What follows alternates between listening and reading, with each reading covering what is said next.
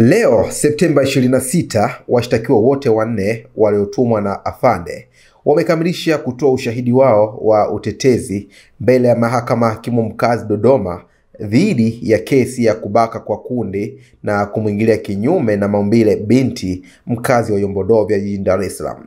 Ikumbukwe kuwa jana Septemba 25, mashahidi wawili walitoa utetezi wao na hivyo kufanya idadi ya mashahidi wa utetezi kufikia wanne, ambapo wametoa utetezi wao huku upande wa jamhuri ukiwa umekamilisha ushahidi wake kwa kuleta mashahidi jumla ya kumi na nane na vielelezo kumi na mbili kuhusu kesi hiyo. mesha Ngamando ni wakili kwa upande wa utetezi ambaye anatueleza mwenendo mzima wa kesi hiyo, na je, nini leo kilijili na nini kesho kinaenda kuendelea mahakamani hapo. Leo tulikuwa tuna uendelezwaji wa shauri kwa upande wa defense, yani utetezi, ambapo jana tulifanikiwa kuwahoji mashahidi wawili na leo tumebahatika pia kuwahoji mashahidi wawili, na kwa upande wetu tumefunga ushahidi. Kwa hiyo kesi tumeomba tufanye mawasilisho ya mwisho baada ya kuwa tumeshafunga ushahidi wetu kwenye upande wa utetezi, na mahakama imetoa imeturuhusu imetukubalia juu ya mawasilisho ya mwisho na imeturuhusu kwamba hayo masuala ya mawasilisho ya mwisho tufanye kesho saa nane mchana. Kwa hiyo baada ya kuwa tumesha tukimaliza hayo mawasilisho, basi ndio ndipo tutakaposubiria uamuzi wa mahakama. Mashahidi waliotoa leo ushahidi? Mashahidi waliotoa leo ushahidi walikuwa ni washtakiwa ambao walibaki jana, ambao ni mshtakiwa namba namba tatu na namba nne, ambao namba tatu ni Nixon Jackson pamoja na Playgod Mushi.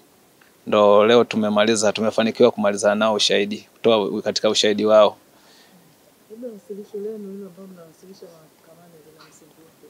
Hayo mawasilisho tunayoenda kuyatoa kesho ni mawasilisho ambayo ni ya kisheria, ambayo tunatoa tunaanza kuichambua kesi kuanzia mwanzo, yani kuanzia ukamataji mpaka watu wanafikishwa mahakamani mpaka na mashahidi wao wote waliokuja kutoa, lazima tuwa challenge, tuwachambue mmoja mmoja. Je, walifuata misingi ya kisheria?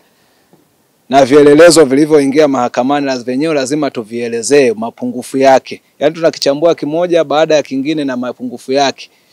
Ndo maana ya mawasilisho ya mwisho, kwa sababu hizo ni hoja za kisheria ambazo washtakiwa hawawezi wao kuzielezea, na ndio maana sisi mawakili waga tunaomba ikifika mwisho tunaombaga tutoe hayo mawasilisho ya mwisho ambazo ni hoja za kisheria zenyewe zina base kuanzia zile haki za mshtakiwa za mtuhumiwa tangia amekamatwa, tangia amekamatwa, tangia anakamatwa, ana kama kuna vitu ambavyo walivikamata walivichukua kutoka kwa mtu, kwa watuhumiwa wamefuata taratibu mpaka kufikishwa mahakamani, kama zile sheria sheria na taratibu zimefuatwa. Ndio maana ya mawasilisho tunaenda sisi, misingi yetu tutaenda kubezi kwenye hivyo vitu. Ni hoja nyingi, kwa sababu ni mashahidi kumi na nane kwa upande wa serikali na vielelezo ishi kumi na mbili. Kwa hiyo tutakuwa na hoja nyingi, na ndio maana tumeomba siku ya kesho ambayo mheshimiwa ametukubalia, kwa sababu sisi kuanzia sasa hivi tunapotoka hapa tunaenda kuanza kujiandaa mpaka kesho saa nane ndipo tutakuja kukutana kwa ajili ya hizo hoja za mwisho za mawasilisho.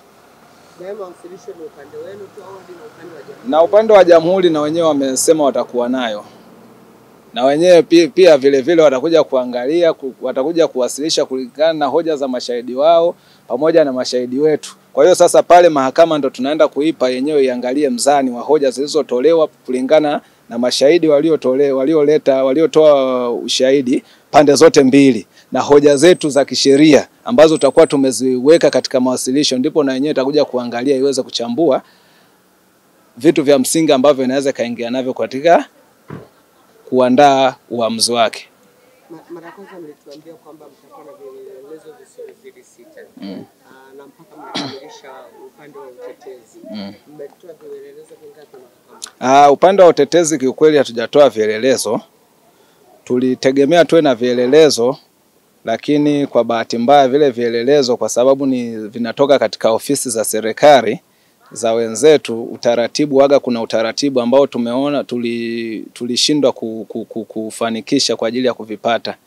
Kwa hiyo tukabidi tuishie tu hapo bila kuwa na vielelezo, na vielelezo hivyo vilikuwa vinamhusu sana sana mtuhumiwa wa nne ambao ni mshtakiwa namba nne Prygold.